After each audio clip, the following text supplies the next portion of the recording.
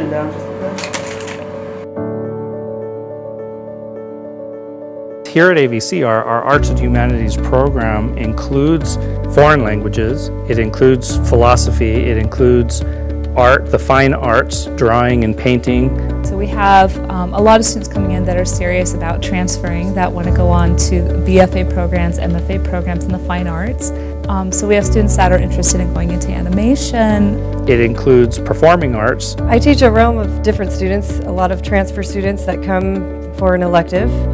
And then I have dancers from like studios that come and take, and then they study theater, singing. Well, commercial music is the uh, vocational side of the music department here. Um, the classes that we teach are meant to help students go directly into the workforce as a musician. We have digital media and we have photography. Our program prepares students to go out into the workforce, whether it's assisting for a big studio in Los Angeles, working in aerospace here uh, in the Antelope Valley. When you come in and you learn sign language, you might be involved in social services. Industry people who come in and do workshops, guest lecture. We recently held portfolio reviews. So our program prepares our students in so many ways to serve the community. We have things like studio production, we have things like live sound reinforcement that let employers know these people have marketable skills out there in the workforce today. It's nice to know that we have the level of professionals who want to actually come and be instructors on campus as well. We have a lot of time to interact with one another and we're making music together so that's a very communal thing and it so it does help us to create relationships with the students that maybe are a little different than the typical classroom relationships. Technically the tools were here so having Antelope Valley College it's a great resource for the whole community at large.